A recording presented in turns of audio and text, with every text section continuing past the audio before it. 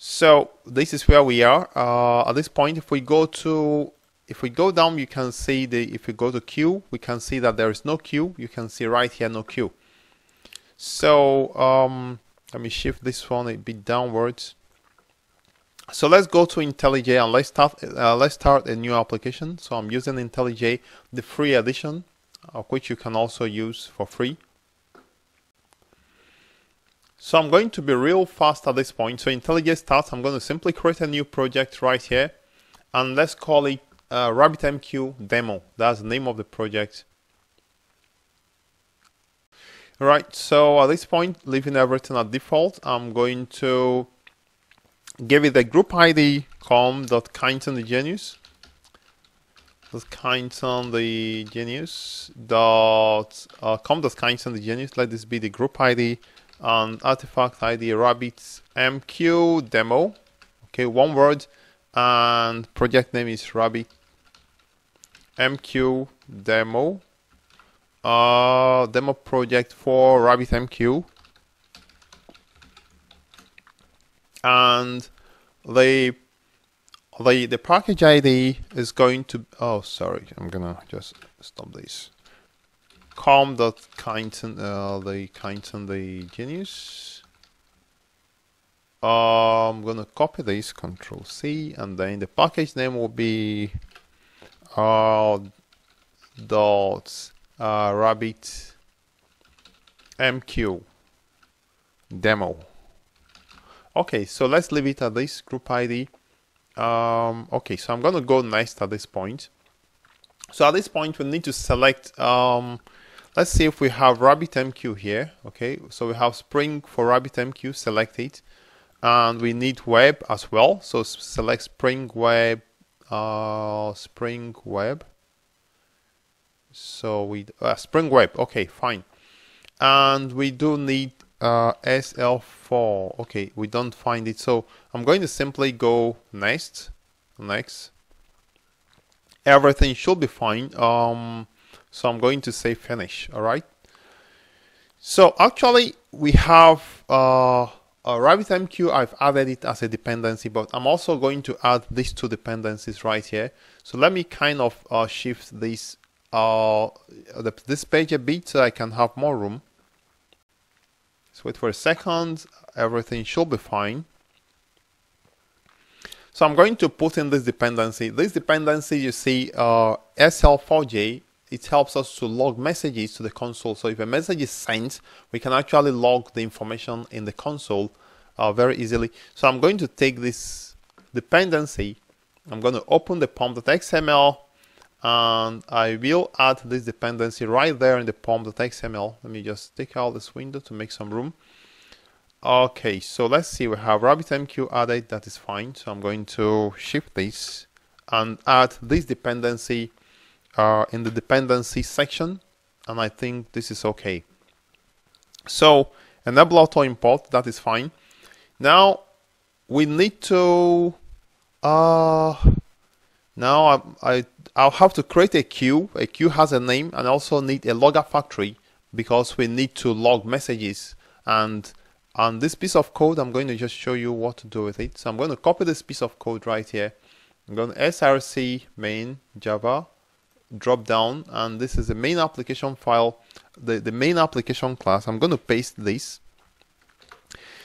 Now this private uh, final static queue name I can actually remove it because I can declare these queues in the in the classes where they are being used. So let me just take it out and in case of this I'm simply going to uh, control shift enter is going to help alternate shift enter is going to help me import everything so we have logger SL4J. Perfect.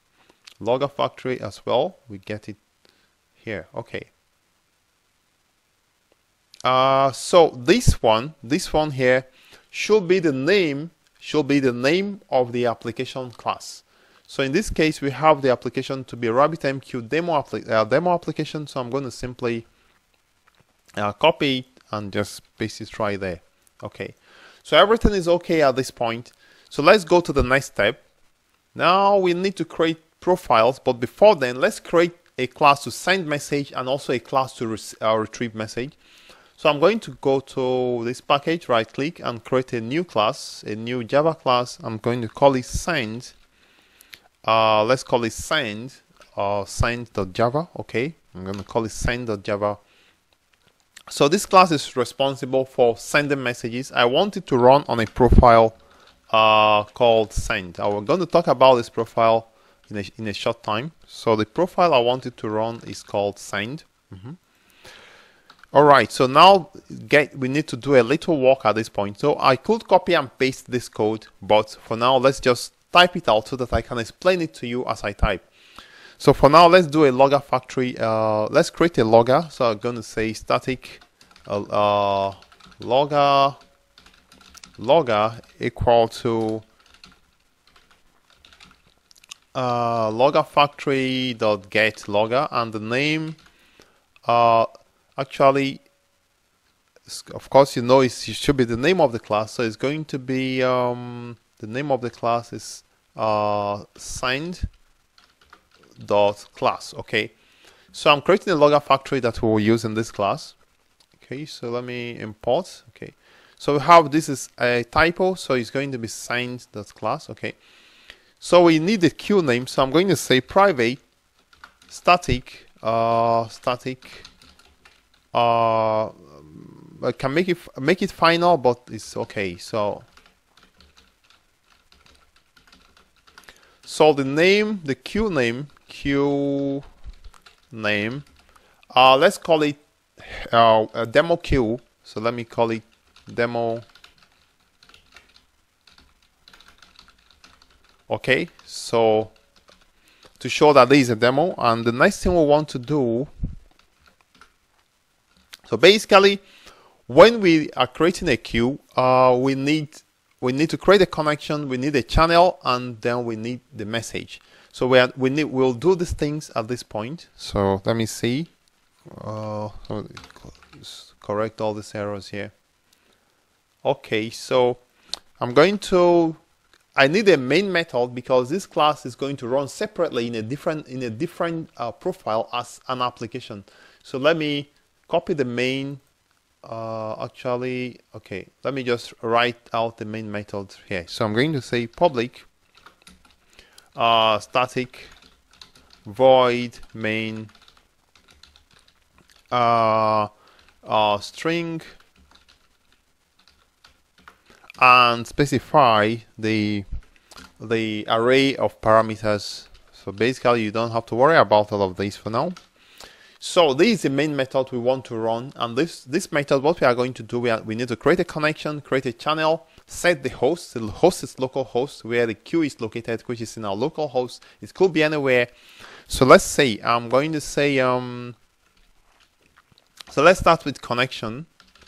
Connection, uh, connection, uh, connection factory, connection, uh, connection factory, factory is equal to new connection factory okay? So I'm going to say factory dot set host and it's going to be local host okay? So we've created a connection factory and we set because this is where, where our server our, our RabbitMQ is located is a local host so I set the host to be the local host and then we need to create a channel. So I'm going to say channel. Uh, channel is equal to connection dot create channel. Uh, sorry uh, I created a connection factory. I also need to create a connection right? So connection uh, uh, connection is equal to factory dot create connection factory dot new connection okay all right so I'm going to just put in the uh, class here. So channel is channel is oh what's happening here?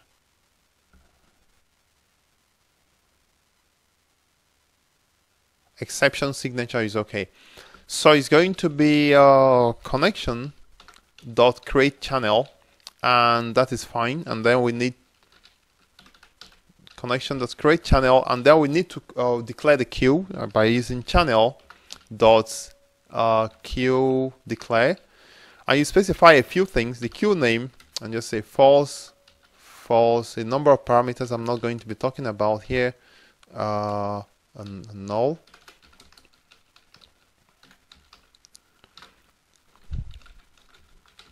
Alright, so we have a queue now, and I'm going to simply uh, create a message. Uh, uh, message is equal to welcome to Rabbit MQ. Okay, so this is a message you want to send. It could be anything. It could be a data structure. It could be any other kind of message you want. And at this point, we have to do um, channel dot basic publish. Uh, I'm gonna say channel dot basic publish. Okay, channel dot basic publish and a number of parameters as well. We specify the queue name and specify the message dot uh, get byte uh, and then for get byte we need to specify the uh, the character the the so give me a second. The, the character set. So it's gonna be UTF or uh, UTF-8 UTF-8 great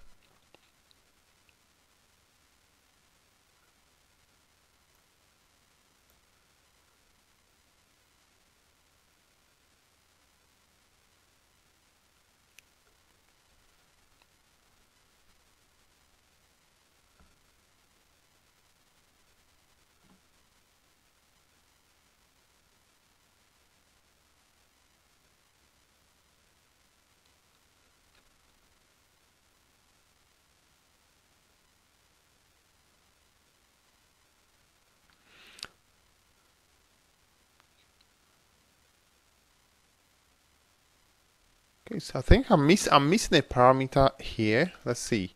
There's a parameter here. Okay, so basic properties, there's no basic properties. Um, Alright, so the next thing we want to do is to just log a message that says uh, the message uh, was signed to the queue. So I'm going to say, uh, just say, let me just say as uh, information and this information is simply say message was sent to the queue. Sends uh, plus message okay? So I close the message and kind of so let's put this here as well. All right so we've created uh, okay we need to close the uh, channel and also close the connection and also say connection dot close. All right.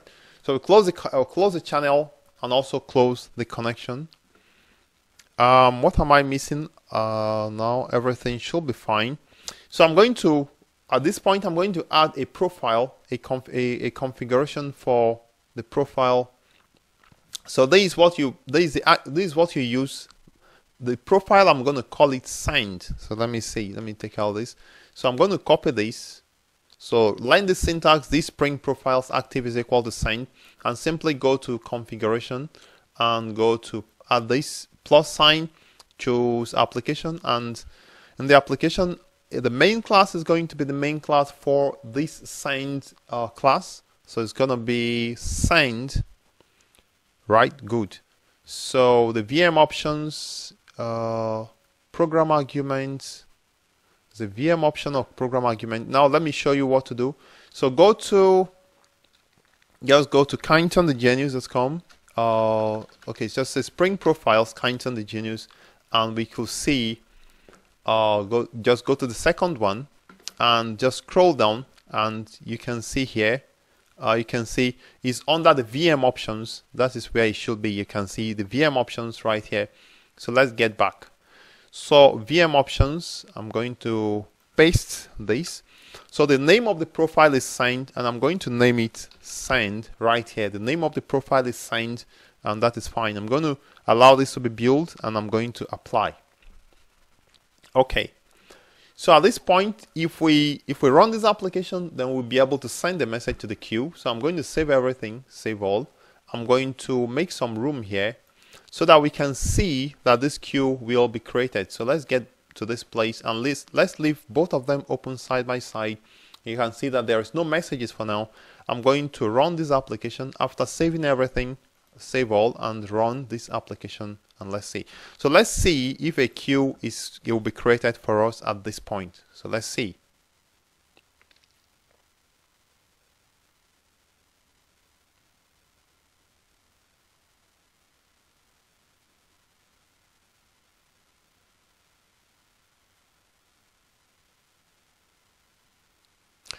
As you can see, one queue has been created for us. We call demo queue. And if you open the demo queue and go down to get messages, uh, you can see uh, payload at this point. You can see welcome to RabbitMQ. That's a message we sent from our application. All right, let's now go to write another uh, class to now retrieve a message from the queue. So let's create uh, since we already created a configuration, let's create another configuration here. So I'm going to go to edit, I'm going to add, I'm going to application and VM options, I'm going to paste. In this case, I'm going to call it receive. And the main class, oh, we've not written it, so we can't do it. Okay, we can't. So uh, let's go to create the class for the receive. So I'm going to say a new Java class receive, okay I'm going to allow it to run in the profile profile of receive. All right so it's going to run on this profile okay? Uh so permit me to just be, uh, take a look at it step by step so I don't miss out anything. So let's go to the the receive okay? So so at this point, I'm going to actually copy everything. Everything is basically the same. I'm, going to show you what is different in this case. So I'm going to copy it and I'm going to simply paste it right here.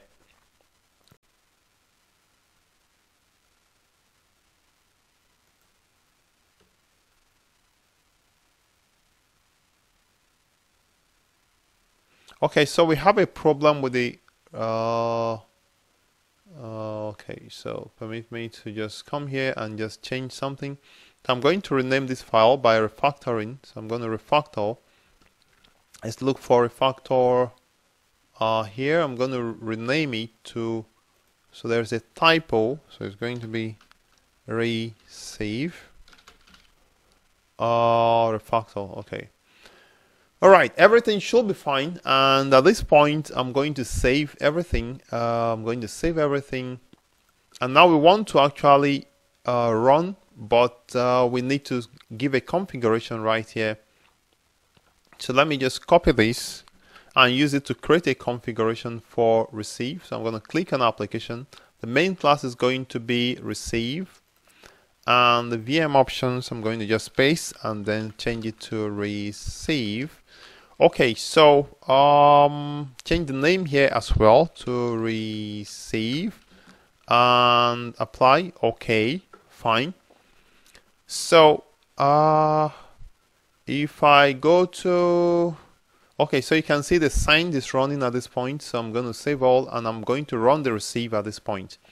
So let's see if it gets the message from the queue.